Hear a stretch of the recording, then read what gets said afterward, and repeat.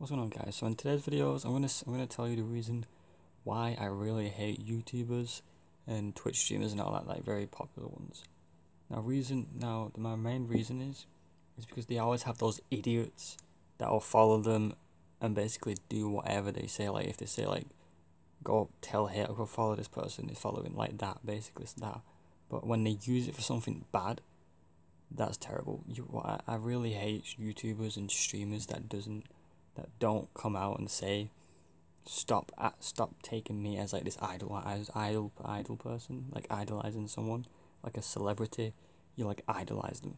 But like a youtuber and like everyone is is the, the person that succeeded in life.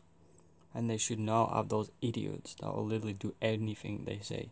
Like literally there's people out there that will probably go to that extreme that they'll probably kill someone if the youtubers tells them to and that's what I hate about YouTubers and Twitch streamers and all and celebrities in general is that they always have those idiots idiot followers that'll do anything they say like they'll say like they'll follow someone because they said so.